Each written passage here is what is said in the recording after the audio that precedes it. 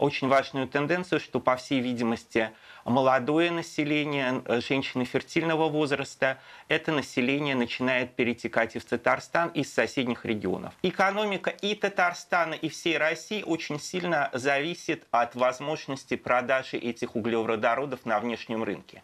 И мы видим целую серию конфликтов, включая конфликт Сирии, которые были связаны с, так сказать, с борьбой за эти рынки сбыта. Что такое татарский язык? В частности, это действительно возможность понимать и общаться с тюркским миром. Мы должны показать, что действительно мы, с одной стороны, есть э, Татарстан связан с мусульманской цивилизацией, корни как минимум 1100 лет, а с другой стороны, мы должны показать, что Татарстан является высокотехнологическим индустриальным регионом, чтобы а, мусульманский мир смотрел на Россию не как на чуждую страну, она как некий субъект, который участвует в процессе развития мусульманского мира.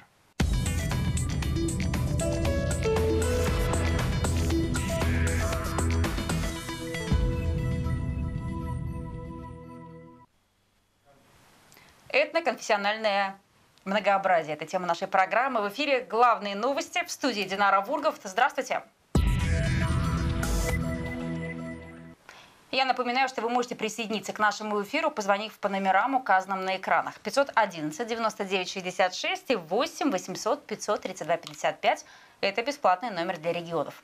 У нас сегодня в гостях доктор исторических наук, профессор Казанского филиала Российского государственного университета правосудия Айдар Хабудинов. Здравствуйте. Добрый день. Айдар Юрьевич, мы уже вышли на финишную прямую. А сейчас самое время подводить итоги. И что интересно, в 2022 год Татарстан входит с увеличением количества населения.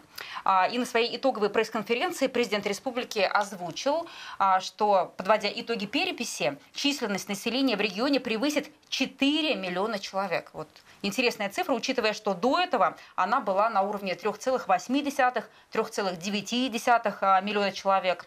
И получается, Казань превратилась в самый большой город Приволжского федерального округа. Подводя вот эти все итоги, хотелось бы узнать, как вы считаете, за счет чего у нас такой рост произошел? Вообще о чем говорят эти цифры?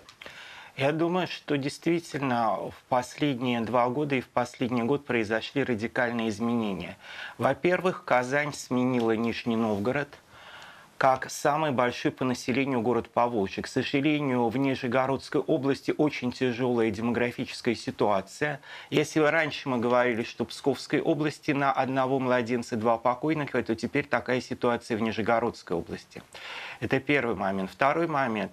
На сегодняшний момент официально только один из субъектов Приволжского федерального округа имеет население более 4 миллионов. Это Башкортостан. Глава Башкортостана уже заявил, что по результатам переписи а, население региона э, сохранится более 4 миллионов. Но очень важный момент. По данным за 9 месяцев этого года, к сожалению, полных данных Госкомстата нет, Татарстан занял первое место среди субъектов Приволжского федерального округа по рождаемости. На самом деле это не так много. За 9 месяцев это не более, немногим более 30 тысяч человек. То есть понятно, что при продолжительности жизни в районе 70 лет это, конечно, никакие не 4 миллиона. Но тем не менее мы видим очень важную традицию, что очень важную тенденцию, что, по всей видимости, молодое население, э, женщины фертильного возраста, это население начинает перетекать и в Татарстан, из соседних регионов. Ну и плюс, конечно, огромная роль Казанского федерального университета, который действительно превратился в городообразующее предприятие и который притягивает а, население со всех регионов. И еще очень важный момент я бы хотел сказать. Интересно, какие будут результаты переписи 2021 года. По результатам переписи 2010 года Татарстан был единственной, повторяюсь, единственной республикой в составе России, где увеличилась численность русского населения. К сожалению, мы видим, что То даже... К нам приезжают, да? Э, к нам приезжают, и очень важно, когда нам говорят, что увеличивается здесь численность мусульманского населения, да, увеличивается численность мусульманских народов. Но мы видим, что увеличивается численность русского населения, и, боюсь, таких регионов даже среди краев и областей в России остались считанные единицы. Ну, Айдар Юрьевич, смотрите, интересно. А пандемийный год, он наверняка сказался да, на демографической ситуации. Получается, смертность, показатель смертности, он вырос, но за счет чего тогда, получается, у нас, а, в принципе, а, увеличились в лучшую сторону показатели? За счет того, что люди переехали? или рождаемость увеличилась? Что стало причиной? А я бы, конечно, хотел видеть те так сказать, данные подробные, которые сейчас пока нет. А дело в том, что в России сейчас очень достаточно два подхода подсчета, то есть считать по постоянной прописке и по пребыванию реальному. Я думаю, что многих людей так и посчитают в двух регионах. И я думаю, что речь прежде всего идет о том, что у нас действительно большое количество молодежи, которые приехали, но которые уже вряд ли покинут Татарстан. По-другому я не могу объяснить. Понятно, это не в рождаемости, потому что цифра за 9 месяцев в Татарстане, что смертность э, несколько превышает рождаемость. Опять-таки, население Татарстана на 1 января этого года чуть менее 3 миллионов 900 тысяч человек. То есть единственное объяснение, что посчитали за тех, кто живет в Татарстане, те, кто здесь реально живет, заводит семьи и остаются на будущее. А вот в своей статье, посвященной развитию мусульманской общины Республики Татарстан в 2021 году, вы указываете на тренд к сохранению стабильности э, в религиозной сфере. А как менялась социальная активность в условиях пандемии, как вы считаете? Я думаю, что социальная активность в условиях пандемии приняла достаточно правильное направление, потому что одновременно это и пандемия, и целый ряд семей теряют возможность заработать. И, соответственно, мы в этом году видим, что, да, мы отмечали печальный юбилей голода 2021 года, мы видим низкий урожай в Татарстане, мы видим, как выросли цены на картошку, ну, как бы мы сказали, на весь суповой набор. И в этом отнош... и здесь я вижу самую грамотную политику, которая связана с тем, что формируются продовольственные пакеты, то есть идет помощь конкретная, адресная тем семьям, которые нуждаются. А в других направлениях я как бы прорывах не вижу. Но то, что сформировались целые сети, так сказать, люди знают, кому они дают, и, соответственно, есть четкое представление, а, так сказать, э, что этим людям нужно, эта, э, э, эта система, я считаю, что за 30 лет в Татарстане налажена. Вообще для татарского народа характерна система Шамхуятуль Хирия, благотворительности. И если мы возьмем наших знаменитых баев, то мы видим, что это была мощнейшая система, которая охватывала и Европейскую Россию, и Казахстан. И мы видим, что татары создавали первое благотворительное общество в том же Северном Кавказе, да, Казахстане, Средней Азии. То есть очень хорошо, что эта традиция вернулась. Так как мы с вами затрагиваем тему а, много национальности и этноконфессионального многообразия, так скажем, с разных сторон, а, если смотреть более узкое направление, именно касаемо дружбы народов среди детей, например, эту тему поднимать, а, предлагаю посмотреть э, видеоматериал, репортаж из Нурлата. Там как раз прошел фестиваль национальных культур под названием «Радуга». Внимание на экран. Владимир Охотников приехал в Нурлат с детским фольклорным коллективом, образованным в 2005 году. В его составе 15 человек. Занимаемся творчеством, поем народные песни, занимаясь фольклором, обряды показываем, выступаем в республиканских конкурсах. Не первый раз уже занимали почетные места. В номинации фестиваля «Художественное слово» девятиклассница Мэри. Она представитель армянской культурно-национальной автономии. Девушка – активная участница мероприятий Дружного дома. Мы часто участвуем э, в различных мероприятиях в Доме дружбы народов, и я очень рада представлять свою родину здесь. Также я здесь нашла много друзей и хорошо с ними общаюсь.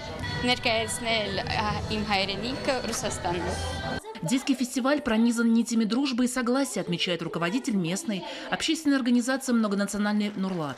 Творчество юных – это выступление в рамках фестиваля народностей, проживающей на земле Татарстана, представление национальной культуры на своем родном языке. Надеюсь, вот этот концерт даст импульс нашему подрастающему поколению, что любовь к культуре своего народа – это в жизни самое главное. И в преддверии Нового года хочу пожелать всем крепкого здоровья, счастья, любите и изучайте родной язык. Просторном зале публика разного возраста, участники мероприятия и их наставники спешат выступить, а потом и поболеть за других конкурсантов. Каждому участнику и коллективу грамота и ценные подарки. Фестивальные номинации «Вокал», «Хореография», «Художественное слово» «Инструментальное творчество» представили широкие возможности юным исполнителям. Гузель Самирханова, Алмаз Ахмедзянов, Новости Татарстана. Очень здорово, что проводят для детей подобные мероприятия. А к этому вернемся чуть позже. Хочу напомнить нашим телезрителям о том, что в группе ВКонтакте медиаканала «Татарстан-24» мы проводим опрос по данной теме и предлагаем вам принять в нем участие, используя QR-код, который вы видите на экранах. Айдар Юрьевич, возвращаясь к теме. А, ранее вы говорили о том, что сегодня Татарстан один из оплотов интернационализма в стране. И а, как вы считаете, за счет чего властям а, региона удается создавать условия для этнической стабильности? Вы знаете, я все-таки хотел вернуться к этому сюжету, когда армянская девочка спокойно говорит на, на родном языке. К сожалению, мы знаем, что год с небольшим назад был достаточно большой вооруженный конфликт в Карабахе, когда воевали между собой представители, ну, скажем так, армянской общины Карабаха с помощью Армении и регулярная азербайджанская армия. Мы понимаем, что сегодня армянин не может приехать в Азербайджан. А азербайджанец, наверное, даже и не подумает о том, что он может вернуться в Армению. Хотя, если мы, как знаем, было Ереванское ханство, и очень много азербайджанцев, они родом с территории, э, так сказать, на которых сейчас находится армянское государство.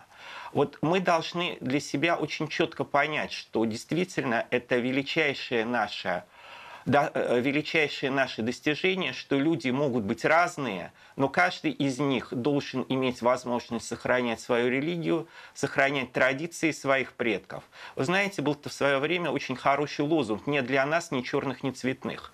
Вот опять-таки мы знаем, что есть регионы, где численность русского населения – в условиях, независ... Э, в условиях независимой России за 30 с лишним лет. Это республики, я даже не говорю про иностранное государство, это республики в составе Российской Федерации, где численность русского населения сократилась в разы. Опять-таки повторяюсь, Татарстан единственная республика, где в 21 веке, единственная республика России, где численность русского населения растет. И я считаю в этом отношении, что это и грамотная политика властей, но и грамотная политика граждан, которая понимает, что да, иногда мир может быть худой, но когда люди видят, что творится в том же Карабахе, когда люди видят, что, э, так сказать, э, например, так сказать, представители тюркского мира заняли очень жесткую проазербайджанскую позицию, это имеется тюркский мир вовне России, соответственно, идет шквал обвинений а, так сказать, со стороны тех, кто поддерживает Армению, и зачастую с христианской точки зрения. А, соответственно, не дай бог, Аллах согласен. И очень важно, что люди на нашей земле понимают, что есть те, как сейчас любят говорить, красные черты, которые ни в коем случае нельзя переходить. Но что для этого делается, чтобы не перейти черту, как вы говорите? Что для этого делается? Ну, знаете, Назым Хикмет гениально сказал, что легко быть Богом и легко быть зверем. Быть человеком очень трудно. Прежде всего нужно быть человеком и понимать, что если ты хочешь, чтобы ты, твой народ жили хорошо, нужно уважать язык другого народа, религию другого народа, традицию другого народа. Трудно не согласиться. А также а, президент Татарстана с 2014 года а, по поручению Владимира Путина возглавляет группу «Россия. Исламский мир». Чье заседание, кстати, прошло в ноябре в Саудовской Аравии. И тогда Рустам Миниханов рассказал об опыте республики в построении многонационального мира и предложил провозгласить Казань городом первого печатного Корана в мусульманском мире. Как вы считаете, какую роль Татарстан играет в отношении России со странами Востока? Вот в предыдущем моем выступлении на прямом эфире много говорили мы о ценах на нефть. Угу. Мы прекрасно помним, что э, на Рождество 1979 года, когда Советский Союз ввел войска в Афганистан, как бы договорились западный мир угу. с организацией стран-экспортеров нефти ОПЕК во главе Саудовской Аравии. Угу. И мы все прекрасно помним среднее поколение, чем для нас закончилось падение цен на нефть страшным дефицитом, когда холодильник победил телевизор, и во многом это способствовало распаду нашей страны. Нам нужны хорошие отношения с мусульманским миром, хотя бы для того, чтобы цена на нефть, цены на газ держались на комфортном уровне. Экономика и Татарстана, и всей России очень сильно зависит от возможности продажи этих углеводородов на внешнем рынке.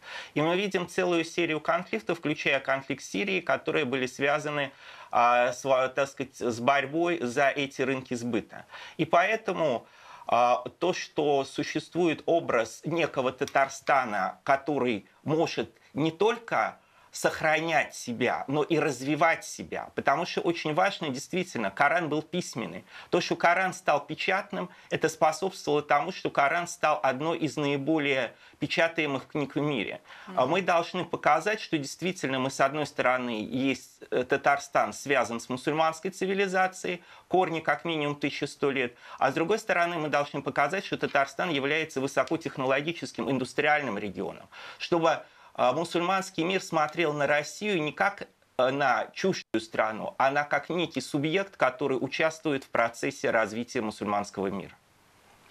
Айдар Юрьевич, а, мы с вами говорим об итогах года, а, и учитывая это, уходящий год в Татарстане был объявлен годом родных языков и народного единства. Как вы считаете, в чем актуальность данной темы в наши дни? Ну, в России уже третье десятилетие продолжается политика централизации. На самом деле, и это открытым текстом говорят, что, так сказать, брать нужно пример с эпохи Александра III, Николая II, когда ставится лозунг о создании единой гражданской нации с единым языком и единой культурой. В этом отношении, так сказать, мы все знаем, что обязательность национальных языков отменена. Человек может сам выбирать, Стоит ли ему выбирать, если нет а образования высшего и профессионального на родном языке, это тоже вопрос. Но я поставил вопрос с другой стороны, потому что если мы посмотрим, что такое татарский язык, в частности, это действительно возможность понимать и общаться с тюркским миром. К сожалению, в одной Турции детей школьного возраста уже больше, чем во всей России. Интересно будут результаты переписи, но мы уже видим, что по переписи 2010 года а, в большом количестве городов России есть стабильные тюркские мусульманские общины, не выходцев из России. И вот, соответственно, с одной стороны, да, вроде татарский не обязательный, но я уже не первый раз сталкиваюсь, что если ты хочешь попасть на какую-то площадку, да, естественно, нужно владеть русским языком, но владение литературным тюркским языком является тоже одним из каналов для того, чтобы попасть на некоторую площадку. Об этом тоже не стоит забывать. И когда человек с татарским именем, фамилией радостно говорит «я по-татарски не понимаю», он должен осознавать, что в некоторых площадках просто для него может не оказаться места. Это жестоко, это может быть неправильно, но я такие ситуации вижу. Правильно ли я вас понимаю? Нужно знать родной язык и язык народа, на территории которого вы живете.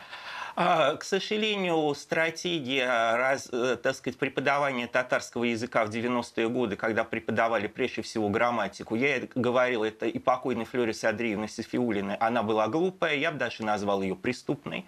Но то, что так сказать, для человека, который живет на земле Татарстана, э, э, нужно иметь представление об истории, о культуре, и, соответственно, о языке. Но, с другой стороны, я должен сказать, что, к сожалению, зачастую а, татарская интеллигенция сама, так сказать, в погоде за западными стандартами утратила свои корни. Но я еще раз повторяюсь, если эти корни, так сказать, как-то в чем-то утрачены в Казани, то, во-первых, есть великое татарское наследие, во-вторых, мы видим, что существует культурная традиция тюркского мира, с которой очень легко ознакомиться, зайдя в интернет. И она очень активно развивается.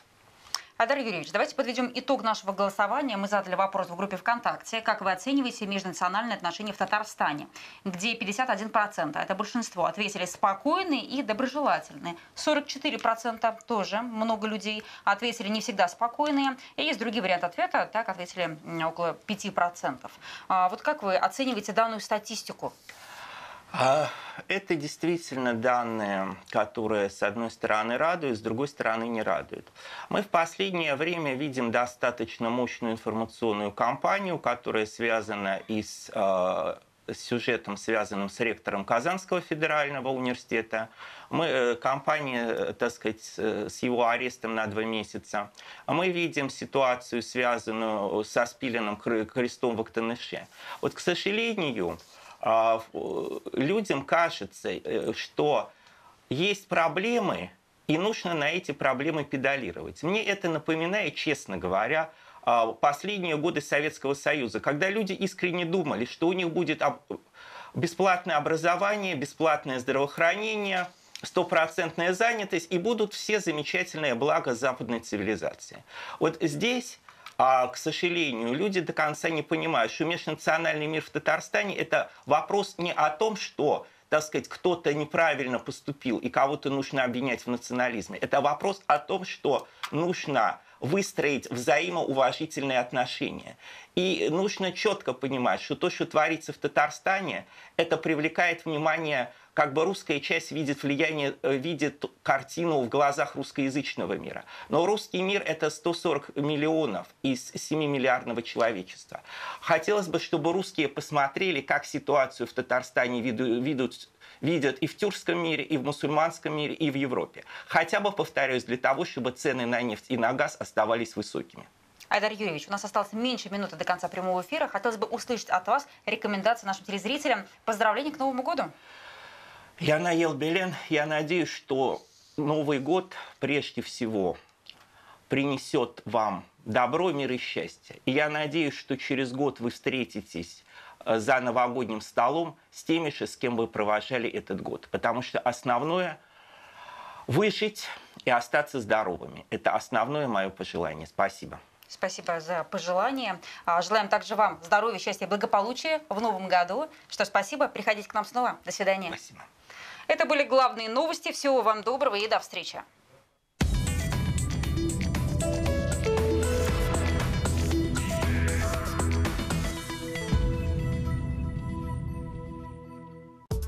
Подписывайтесь на канал Татарстан 24, не пропускайте интересные выпуски, жмите колокольчик.